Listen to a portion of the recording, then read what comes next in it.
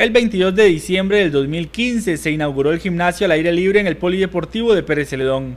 Más de 10 máquinas de ejercicio se instalaron a un costado de la cancha de fútbol para el disfrute de los generaleños que llegan cada día a este lugar a ejercitarse. En ese momento hubo mucha aceptación de parte de los ciudadanos. Bueno, a, a mi edad yo lo veo divino, precioso. Ojalá que lo cuiden todos los que lo vamos a usar, porque creo que hasta yo lo voy a usar en algunas máquinas que hay aquí.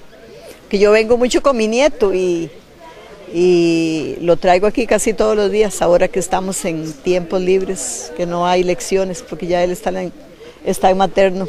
Buenísimo, buenísimo, excelente iniciativa. Aquí estamos de una vez dándole a esto. ¿Hacía falta? Eh, en realidad, eh, sí, sí, sí hacía algo, algo diferente, algo nuevo para el poli. Ahora, seis meses después, las máquinas siguen en buen estado. Los generaleños las han cuidado y por eso ya se le van a hacer mejoras en su espacio el comité cantonal inició trabajos para cementar la zona, pues con las lluvias se hacían varios pozos que podían incomodar a quienes las usaban. Muchas gracias a ustedes como medio de comunicación que dan la información de lo que se está haciendo en el poliporteo. Sí, eh, habíamos dicho que habíamos adelantado que íbamos a hacer el trabajo, ya comenzamos a hacer el planché, que es muy importante por esos tiempos de lluvia y pueden estar viendo que están quedando las placas de una vez porque vamos a hacer el techo del, gimnasio este para que la gente pueda participar también. Cuando haya invierno no hay problema, tiene que hacer ejercicio, tiene el, gimnasio a disposición. Entonces es un trabajo que está haciendo junto a, a la administración municipal, Jeffrey, el vicealcalde, el consejo, comité cantonal.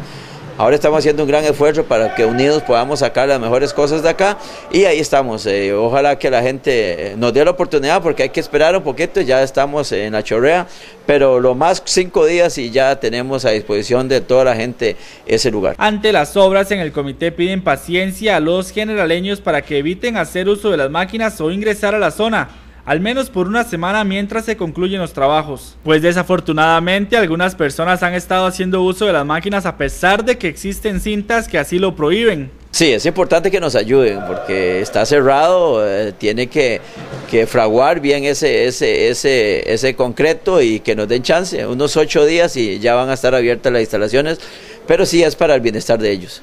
Por ahí uno que a veces viene en la noche se, se ve como que una otra persona como que se mete igual, aunque estén las la cinta, Ronald.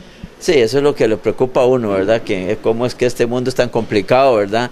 Viendo que están las cintas de emergencia, viendo que está todo eso y ahí siempre nos hacen esas cosas, pero ahí vamos a echar para adelante.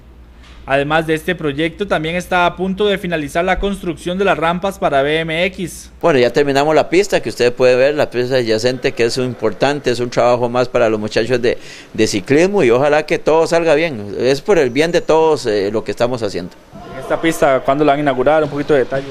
Después de juego vamos a hacer una inauguración, ojalá con gente de la capital, pero ahorita sí, eh, primero vamos a salir hacia juegos, terminamos juegos y después venimos a hacer estas cosas acá y algunas cosas más que faltan que, que próximamente les vamos a estar comunicando. En el caso de la rampa de BMX se inauguraría una vez que concluyan los Juegos Deportivos Nacionales.